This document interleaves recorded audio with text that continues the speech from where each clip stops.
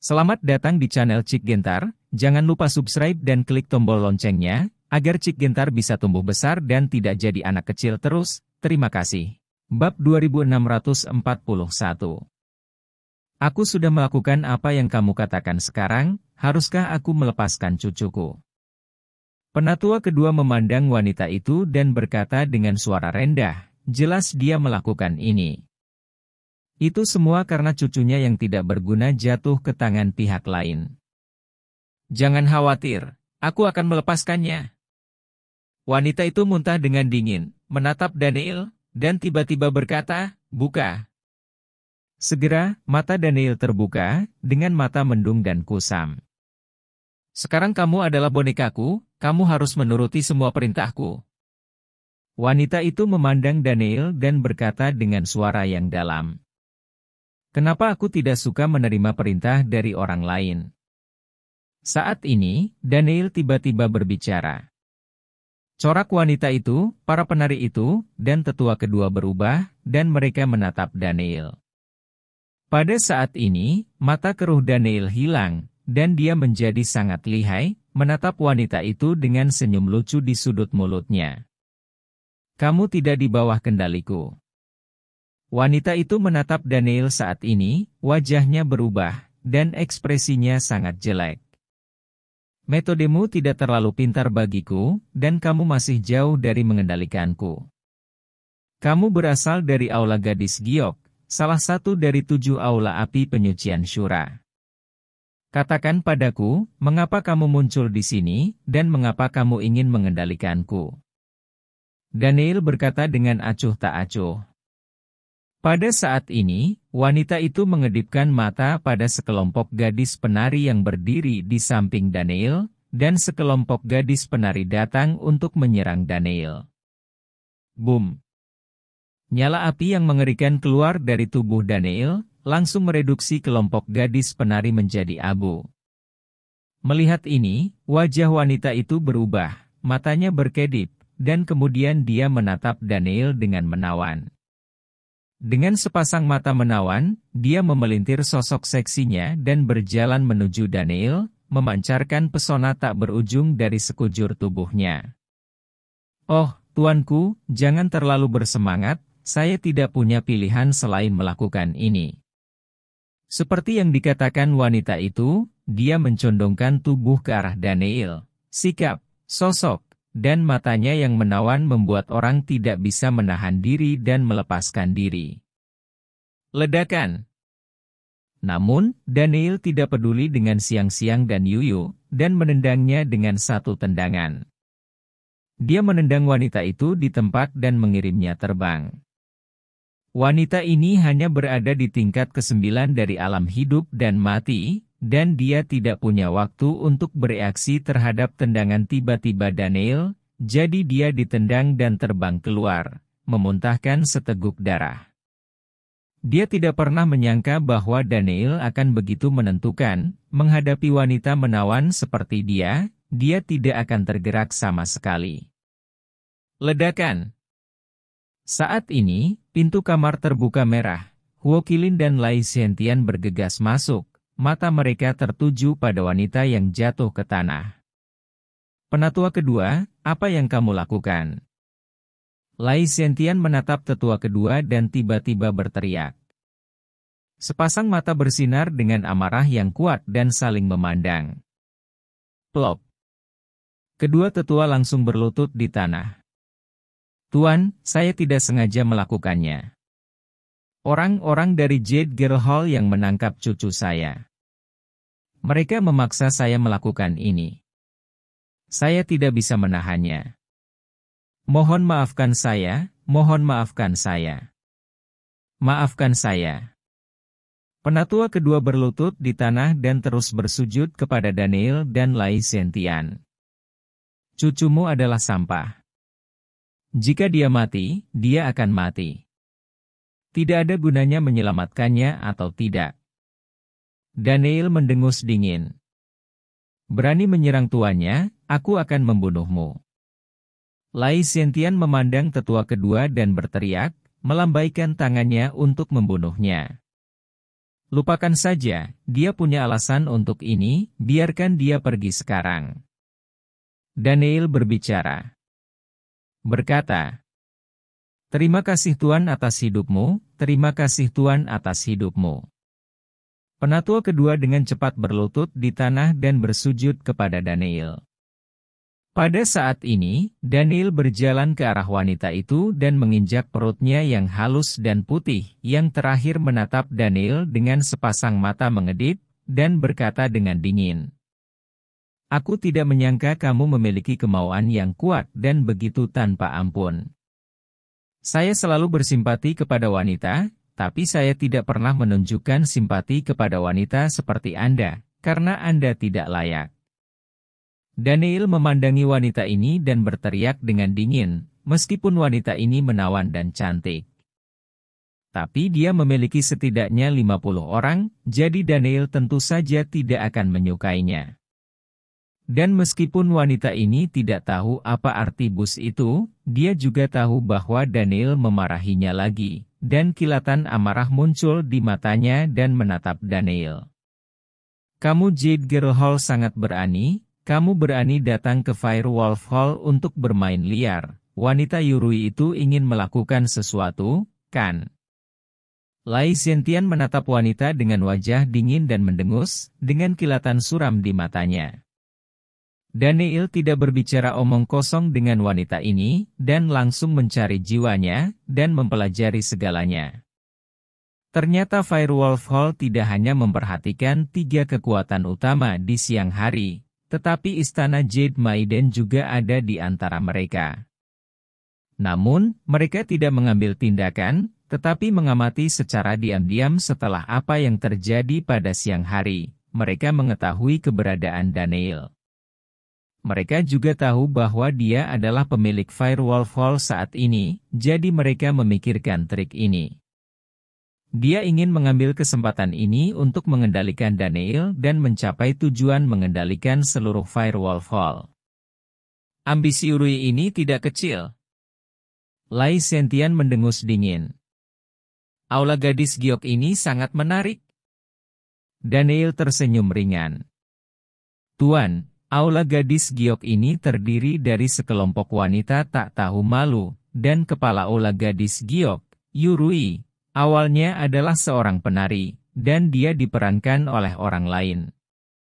Saya tidak tahu bagaimana mendapatkan warisan nanti, kekuatan saya melonjak, dan saya langsung melangkah ke jajaran alam master, lalu merekrut sekelompok wanita cantik untuk pelatihan dan pelatihan, membentuk balai gadis giok saat ini.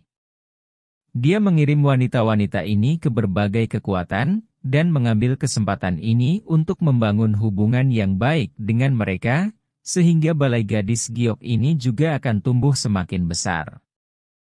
Pada akhirnya, semua kekuatan yang membantu Jade Girl Hall berkembang ditelan olehnya, dan Jade Girl Hall ini juga menjadi salah satu dari tujuh aula hari ini.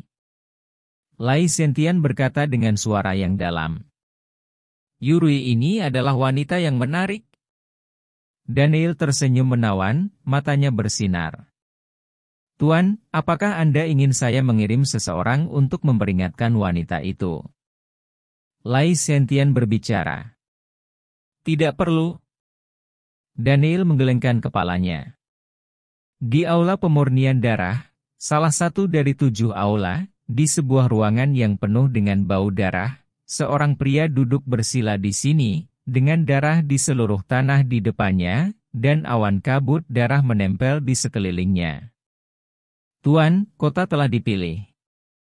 Ada sepuluh ribu prajurit di seluruh kota, tidak lebih, tidak kurang. Pada saat ini, sebuah suara masuk ke dalam ruangan. Oke, beritahu saya. Besok saya akan memurnikan orang-orang di kota ini. Saat itu, keterampilan sihir saya pasti akan menembus. Pria di ruangan itu mengeluarkan suara dingin dan serak. Pengajaran bulan darah Di ruangan sekte bulan darah, putra suci sekte bulan darah datang ke sini, dan di ruangan ini orang suci itu duduk di sana sambil minum anggur sendirian. Mengapa Tuan Shengzi ada di sini bukankah seharusnya kamu mengejar Blood Moonstone? Orang suci itu memandang putranya dan tersenyum sedikit. Bab 2642 100 ribu rohin. Putra suci segera berubah, dan dia berkata dengan suara yang dalam, saya khawatir batu bulan darah ini tidak akan pernah kembali. Aduh, kenapa? Orang suci itu bertanya dengan rasa ingin tahu. Aku baru tahu identitas orang yang mengambil batu bulan darah. Akibatnya, dia didorong ke dalam lubang hitam angkasa oleh beberapa sekte besar di Dongzhou, dan pada dasarnya mati di dalamnya. Putra suci mendengus dingin, dan kemudian melanjutkan, namun, anak ini benar-benar memaksa sekte besar ini untuk mengirim lima master gelar untuk menyerangnya bersama, yang dapat dianggap sebagai presiden di dunia kuno ini.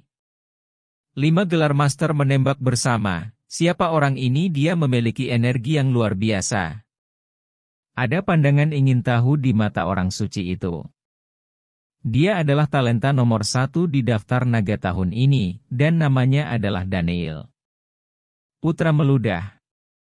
Apa namanya Daniel? Ketika orang suci mendengar nama ini, wajahnya berubah, dan tangan yang memegang gelas anggur bergetar, dan semua anggur tumpah. Ya, apa kamu kenal dia? Putra suci sedikit mengernyit dan menatap perawan suci. Tidak, hanya saja namanya agak mirip dengan nama orang yang ku kenal sebelumnya. Kulit orang suci itu dengan cepat kembali normal dan berkata, Oke, ayo pergi, aku akan istirahat. Orang suci itu berkata langsung, dan kemudian putranya meninggalkan ruangan. Apakah itu benar-benar kamu?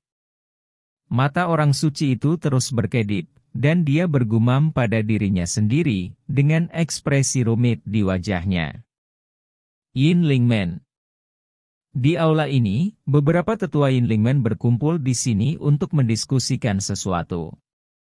Sekarang kami telah mengumpulkan sejumlah besar roh yin, tetapi kami masih membutuhkan lebih dari 90 ribu roh yin untuk menghidupkan kembali gerbang Yinling.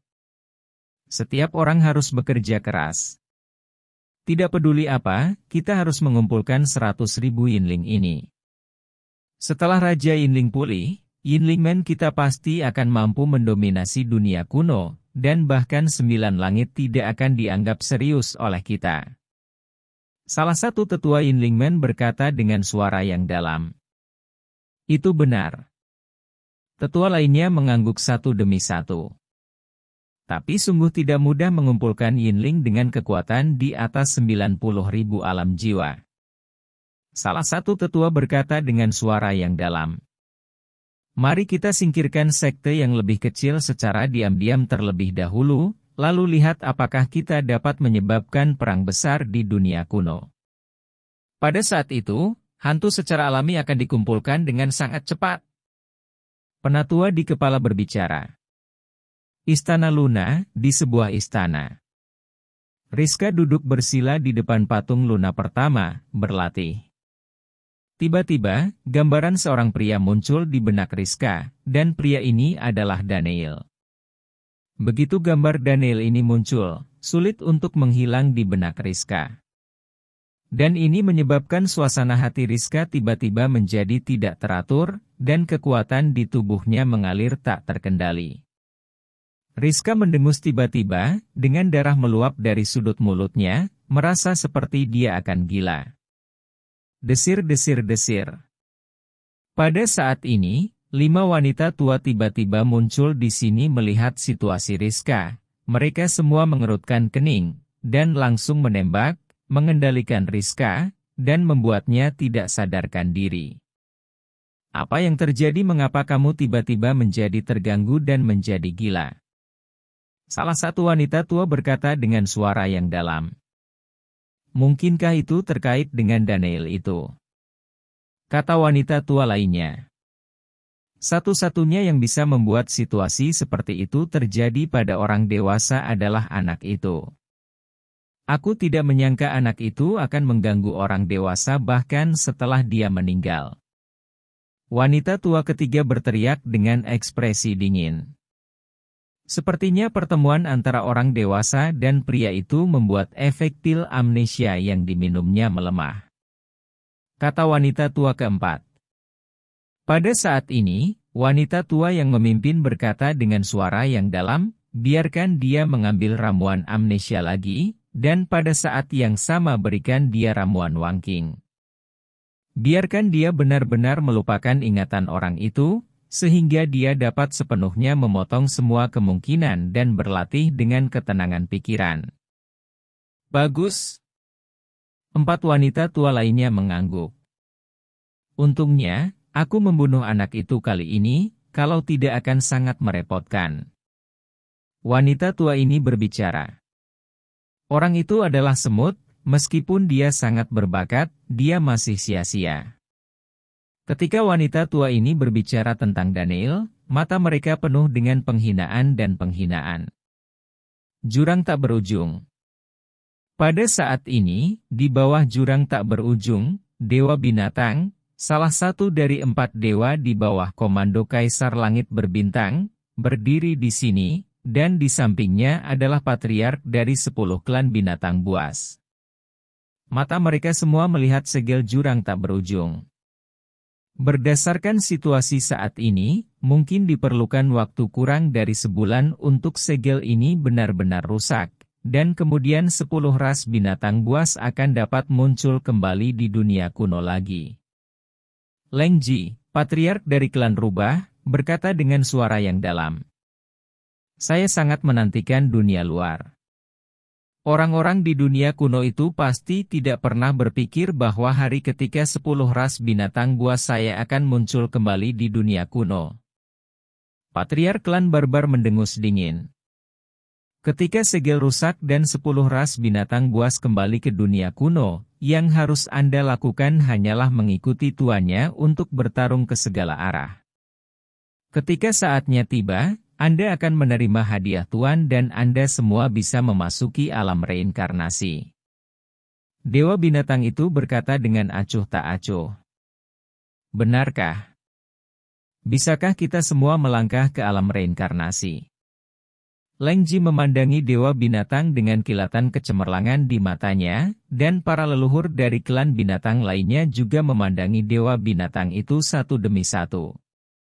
Melangkah ke alam reinkarnasi, ras manusia dan ras binatang sangat bersemangat. Tentu saja, itu hanya alam reinkarnasi. Ada eksistensi yang lebih kuat di alam reinkarnasi. Pada saat itu, kalian semua akan memiliki kesempatan untuk menjadi lebih kuat dari alam reinkarnasi. Dan semua ini tergantung pada keinginan tuannya, jadi kalian semua harus sangat setia kepada tuannya. Jika ada yang punya ide, dia akan dibunuh tanpa ampun. Beast God murderously berteriak tak terhingga. Ngomong-ngomong, bagaimana kabar mereka? Dewa binatang berkata, Tuanku, kekuatan mereka meningkat dengan sangat baik, dan kekuatan mereka meningkat dengan sangat cepat. Patriark dari klan barbar berkata, Baiklah, mereka semua akan berbadan sehat di bawah komando tuannya di masa depan, dan mereka harus meningkatkan kekuatan mereka dengan benar sehingga mereka dapat membantu tuannya. Kata Dewa Binatang dengan sungguh-sungguh. Di antara klan rubah, Cuyo Meng duduk di sini dengan tenang, membelai Gukin dengan kedua tangannya, dan Nadaji duduk di sampingnya. Kakak Meng, suara pianomu bagus sekali. Saat musik piano berakhir, Daji bertepuk tangan dan menatap Cuyo Umeng dengan kagum. Terima kasih. Kata Cuyo Umeng dengan ekspresi tenang, tapi mata kosong itu membuat orang sedikit kasihan. Kakak Yeomeng, apakah kamu merindukan kakak Bastian? Saat ini, Daji tiba-tiba menatap Cuyo Umeng dan berkata, Kau merindukannya, bukan? Kata Cuyo Umeng. Ya, aku sedikit merindukan kakak Bastian, dan aku ingin berada di sisinya. Kata Daji dengan wajah memerah. Jangan khawatir, kamu akan segera bertemu dengannya. Cuyo Meng berbicara. Bukan hanya aku, tapi juga kakak Youmeng, kamu akan segera bertemu kakak Bastian. Aku minta maaf soal itu, aku. Daji ini berbicara dengan bersemangat, tetapi ketika dia melihat mata Chu Youmeng setelah berbicara, dia menyadari bahwa dia telah mengatakan sesuatu yang salah, dan dengan cepat memperbaikinya. Bab 2643 Tidak apa-apa. Omong-omong, aku memang ingin bertemu dengannya. Aku ingin melihat seperti apa dia. Chu Youmeng berkata dengan tenang. Kakak Bastian sangat tampan, jika kamu bisa melihatnya, saudari Yo Umeng, kamu pasti akan menyukainya. Daji berkata dengan bersemangat. Benarkah mungkin, tapi mungkin aku tidak akan memiliki kesempatan ini dalam hidupku. Chu Meng sedikit tersenyum. Di dunia kuno, kaisar dan para dewa. Di aula Klandi Protos yang megah dan megah. Seorang pria mengenakan jubah emas dan memancarkan paksaan tertinggi duduk di kepala aula. Dia adalah Dihao, patriark dari klan Dewa Di. Di aula ini, ada beberapa tetua dan pembangkit tenaga listrik dari klan Dewa Kaisar. Kalian semua telah memperhatikan visi klan Tianji Xuan sebelumnya. Dihao ini memandang semua orang yang hadir dan berkata dengan suara yang dalam. Patriark, Menurut visi ini, klan Tianjisuan harus menjadi seorang jenius dengan fisik yang kuat. Kata salah satu tetua klan Dewa Di. Pertama, Jiu Tianxuan, pendiri klan Sembilan Surga Sen, muncul, dan sekarang klan Tianjishuan telah melahirkan seorang jenius fisik yang kuat, yang sangat tidak menguntungkan bagi klan Dewa Di kita. Itu sebabnya aku ingin kamu melakukan yang terbaik untuk melatih ketiga di Shitian dan membiarkan mereka mencapai ranah dominasi dan menjadi dominator dalam waktu sesingkat mungkin. Dengan cara ini, di protos kami dapat memimpin di kesempatan mendatang. Teriak Dihao dengan ekspresi agung. Ya, Patriar. Kelompok orang ini mengangguk. Aku tidak tahu di mana leluhur itu sekarang. Kata Dihau dengan sedikit cemberut. Patriar, apakah leluhur ini benar-benar masih hidup? Sekelompok tetua bertanya. Bahkan Suanf dari sembilan surga masih hidup, leluhur memiliki kekuatan gaib, dan mengendalikan api matahari terkuat di dunia, bagaimana mereka bisa benar-benar mati, bukan hanya mereka. Di seluruh era kuno, sebagian besar master seni bela diri yang melampaui kekuatan penguasa gelar tidak bisa benar-benar mati, tetapi mereka semua bersembunyi atau mundur, membuat orang berpikir bahwa mereka semua sudah mati. Kata Dihao dengan ekspresi acuh tak acuh. Jika leluhur dapat kembali, maka klan Dewa Di kita benar-benar tidak akan takut pada dunia. Ekspresi kegembiraan melintas di mata para tetua ini. Dan di klan Xingtianzan, salah satu dari empat keluarga kerajaan besar di dunia kuno. Xinghai, patriar klan Xingtianzan, dan sekelompok tetua berdiri di sini. Patriar, apakah kamu benar-benar akan membiarkan Ouyang Shaohan pergi begitu saja, dan tidak menghancurkan keahliannya melawan langit? Penatua kedua memandang Singhai dan berkata dengan suara yang dalam. Lagi pula, dia adalah putri dari Singsan, dan Singsan telah memberikan kontribusi besar untuk klan Sing Tiansan, jadi biarkan dia pergi. Kata Singhai. Patriark, ada aturan dalam keluarga bahwa wanita tidak diperbolehkan berlatih Zan Tianjue, dan mereka yang melanggarnya harus kehilangan keterampilan mereka bahkan jika mereka tidak dieksekusi. Tetua lainnya berkata, Xiao Han adalah satu-satunya pewaris Big Brother Han. apakah kamu harus melakukan hal seperti ini? Pada saat ini, seorang pria paruh baya yang agak kasar dengan janggut berteriak langsung, menatap sekelompok orang dengan ekspresi marah, dan muntah dengan dingin.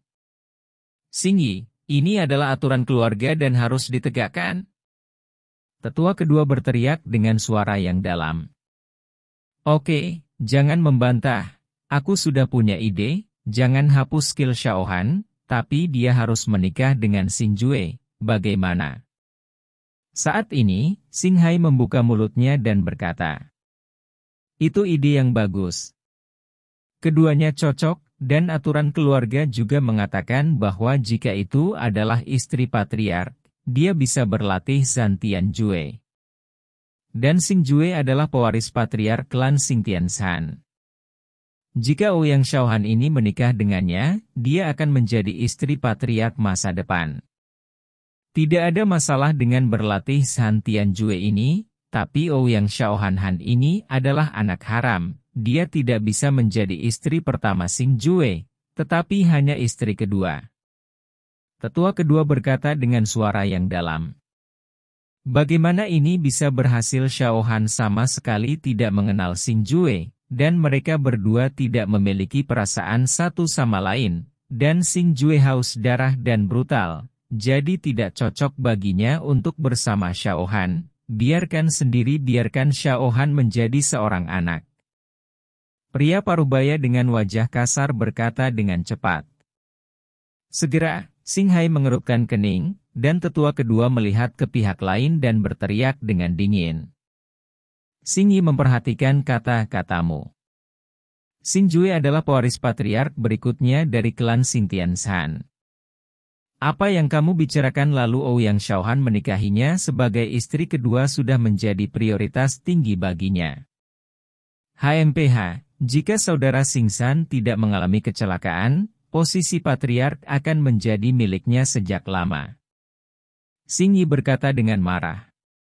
Sombong. Singhai berteriak dengan keras, dan paksaan yang mengerikan bergerak ke arah Singyi untuk menekannya. Po, Segera, tubuh Singi bergetar, seteguk darah keluar, wajahnya pucat, dia dengan cepat menatap Singhai dan berkata, Patriark, maafkan aku, aku mengatakan sesuatu yang salah. Pulang dan renungkan. Masalah ini sudah selesai. Kirim seseorang untuk memberitahu Ouyang Xiaohan. Saat Xingjue melangkah ke ranah dominasi, mereka berdua akan menikah. Singhai berteriak dengan sungguh-sungguh. Ya. Kelompok orang ini mengangguk. Kemudian Singyi pergi dari sini dan pergi ke kamar tempat tinggal Ouyang Xiaohan. Paman Singyi, kenapa kamu ada di sini? Ouyang Xiaohan memandang Singyi dan berkata, Aku di sini untuk memberitahumu sesuatu. Singyi berkata dengan suara yang dalam, langsung menceritakan tentang pernikahannya dengan Sing Jue.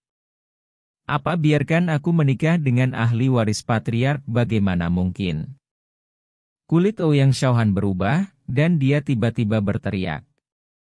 Maafkan aku Xiaohan, ini adalah perintah dari patriark, aku tidak bisa berbuat apa-apa, aku hanya bisa salah padamu.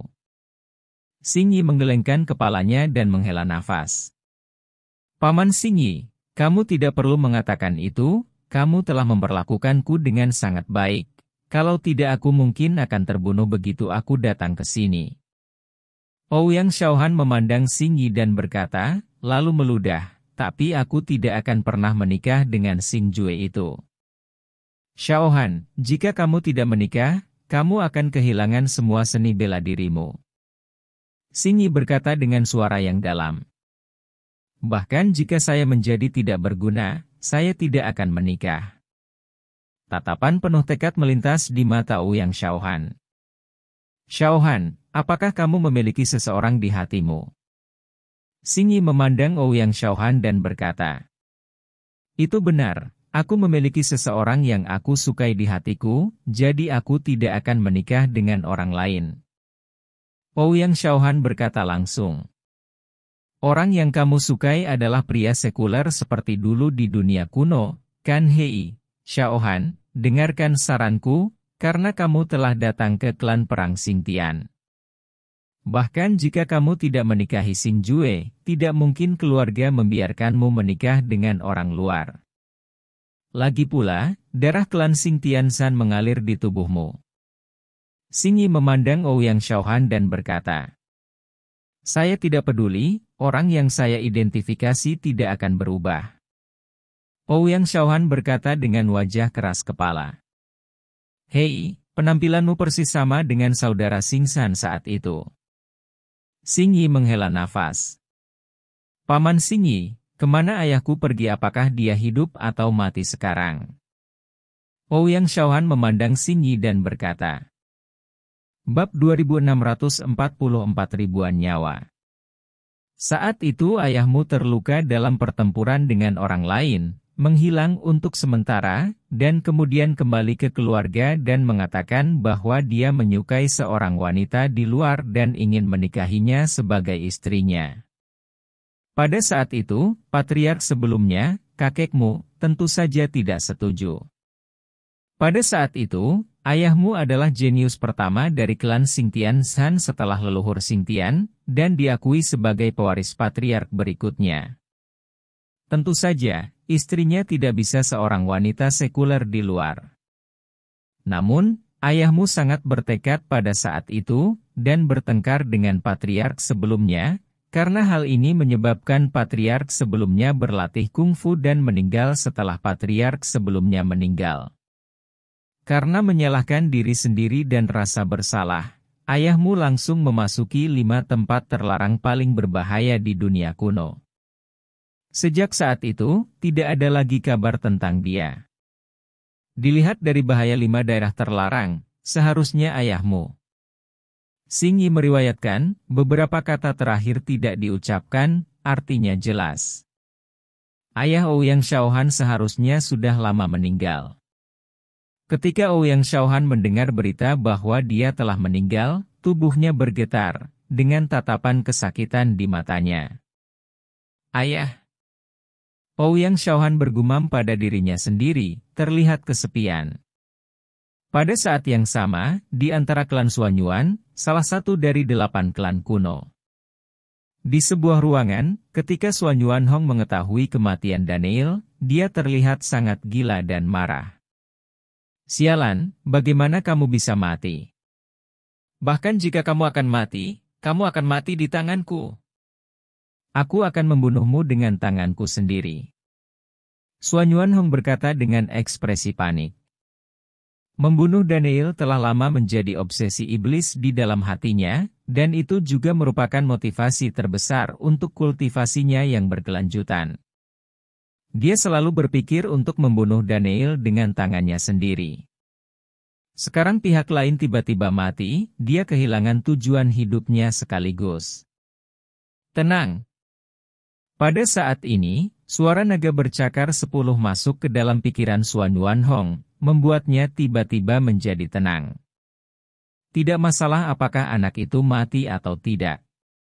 Bahkan jika dia mati, kamu harus bekerja keras untuk berkultivasi dan melangkah ke ranah dominasi dan reinkarnasi secepat mungkin.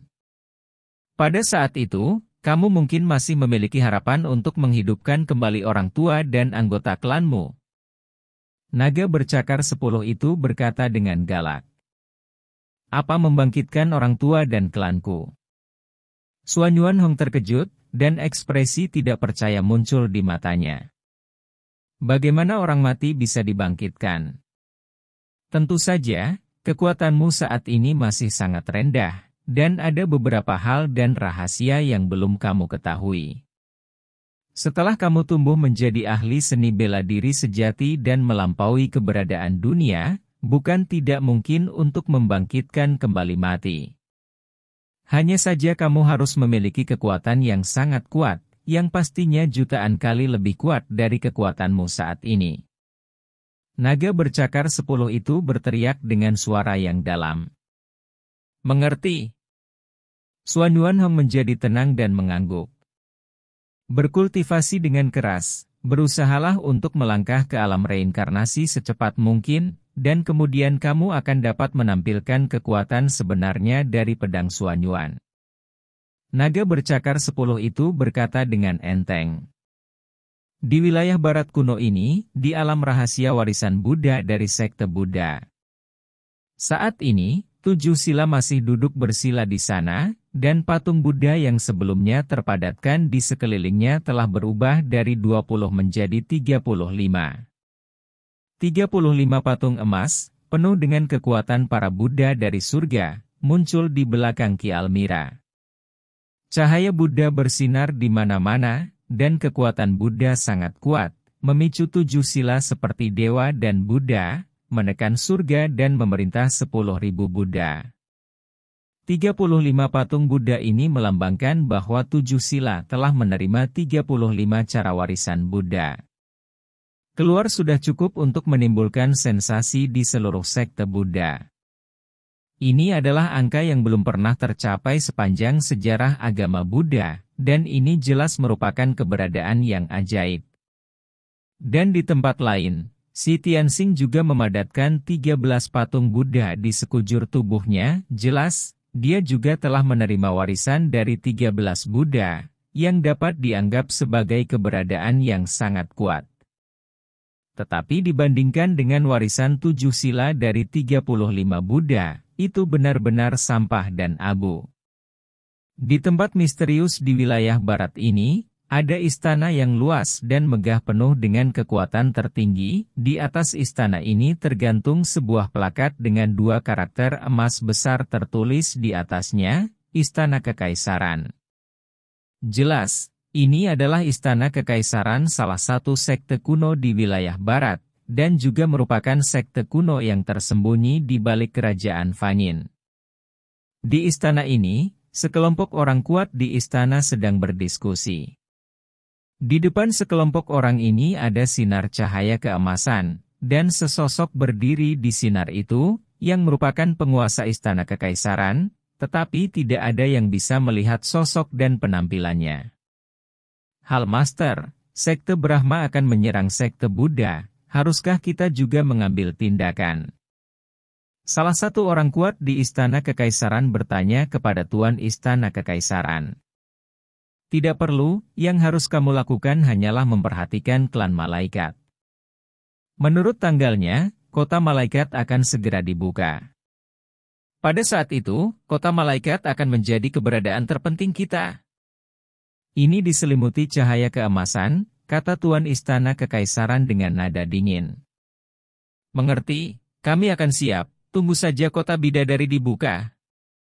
Sekelompok orang kuat di Istana Kekaisaran membungkuk dan berkata, lalu mereka semua keluar, hanya menyisakan Tuan Istana Kekaisaran untuk tinggal di sini. Tuan Langit berbintang, jika kamu masih hidup, maukah kamu pergi ke kota malaikat? Dulu, Tuan Aula Kekaisaran membuat suara berbicara pada dirinya sendiri, tidak tahu apa yang dia bicarakan. Air pasang naik dan turun, bulan terbenam dan matahari terbit. Segera hari baru dimulai. Di aula Serigala Api Kota Cian, Daniel sedang duduk di sini makan bersama Almira dan Luolai, dan Luolai juga sementara tinggal di sini sekarang. Saat ini, Lai Sentian berjalan cepat, berdiri di depan Daniel dan membungkuk, guru baru saja mendapat berita. Berita apa? Daniel berkata dengan ringan. Aula pemurnian darah ini akan menggunakan nyawa 10.000 orang di sebuah kota untuk meningkatkan kekuatannya. Kata Lai Sentian.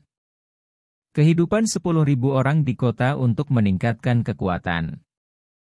Daniel terkejut sesaat. Benar, apa yang Kiu Kian Ren, penguasa aula pemurnian darah, kembangkan adalah sejenis kekuatan iblis, yang dapat memurnikan darah dunia untuk meningkatkan kekuatannya sendiri. Kali ini dia akan mengorbankan 10.000 orang di sebuah kota hidup untuk membantunya meningkatkan kekuatannya. Pada saat itu, kekuatannya kemungkinan besar akan masuk ke tingkat dominasi ke-8, dan dia pasti akan menyerang enam aula lainnya. Aula serigala api kita paling dekat dengan aula pemurnian darah mereka, jadi kita harus menanggung beban serangan lawan. Lai Sentian berkata satu persatu. Mengorbankan nyawa puluhan ribu orang di kota untuk meningkatkan kekuatan mereka benar-benar menjijikkan kata Daniel dengan wajah dingin. Rao, ketika dia mendengar berita seperti itu, dia juga merasa sangat marah dan tidak tahu malu terhadap tuan dari Balai Pemurnian Darah. Lagi pula, adalah mungkin untuk meningkatkan kekuatan, tetapi mengorbankan puluhan ribu nyawa tak berdosa di seluruh kota untuk meningkatkan kekuatan sama saja dengan hewan. Bawa kami ke sana, aku ingin melihat seberapa kuat master dari aula pemurnian darah ini. Daniel berteriak dengan dingin. Bab 2645 Meskipun dia bukan orang yang baik, karena Daniel mengetahui berita itu, dia tidak akan hanya melihat orang-orang di kota ini mati dengan polos, dan dia pasti akan merasa tidak nyaman ketika saatnya tiba. Bagus. Lai Sentian mengangguk. Kemudian Lai Sentian meninggalkan kota Cian bersama Daniel dan Huo Qilin, Almira dan Luolai tentu saja tinggal di sini. Kota darah surgawi, ini adalah kota biasa di dalam area yang dikendalikan oleh Balai Pemurnian Darah, dan ada total 10.000 orang di kota ini. Semuanya adalah prajurit, setidaknya mereka yang berada di alam piling. Di antara mereka, ada sejumlah besar orang kuat di alam jiwa, dan ada juga prajurit di alam nirvana dan alam hidup dan mati. Sejak tadi malam, seluruh kota telah ditutup sepenuhnya, dan tidak ada yang diizinkan pergi. Ada juga penjaga kota, dan tidak ada yang diizinkan meninggalkan kota. Perubahan ini membuat semua orang di kota merasakan kegelisahan dan kepanikan. Tampaknya bencana besar akan menimpa mereka. Faktanya, mereka telah dianggap sebagai sumber untuk pelatihan master aula pemurnian darah. Segera master dari Aula Pemurnian Darah, Kiu Kian Ren, datang ke sini bersama sekelompok ahli dari Aula Pemurnian Darah. Berdiri di atas kota dan melihat ke bawah ke seluruh kota, Kiu Kian Ren menunjukkan seringai haus darah di sudut mulutnya. Saatnya mencerminkan nilai Anda hari ini, biarkan Anda menjadi batu loncatan menuju tingkat dominasi ke-8. Kiu Kian Ren ini meludah dengan dingin. Hallmaster Q, apa yang kamu coba lakukan? Beberapa orang kuat di tingkat kesembilan hidup dan mati di kota ini memandang Qiu Qianren dan mengerutkan kening dan berkata langsung.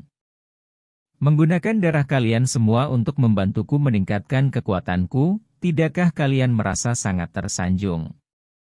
Qiu Qianren memandangi sekelompok orang yang berbicara dengan ekspresi muram, tetapi setelah mendengar kata-katanya, Ekspresi semua orang di seluruh kota berubah. Kamu, bagaimana kamu bisa melakukan itu?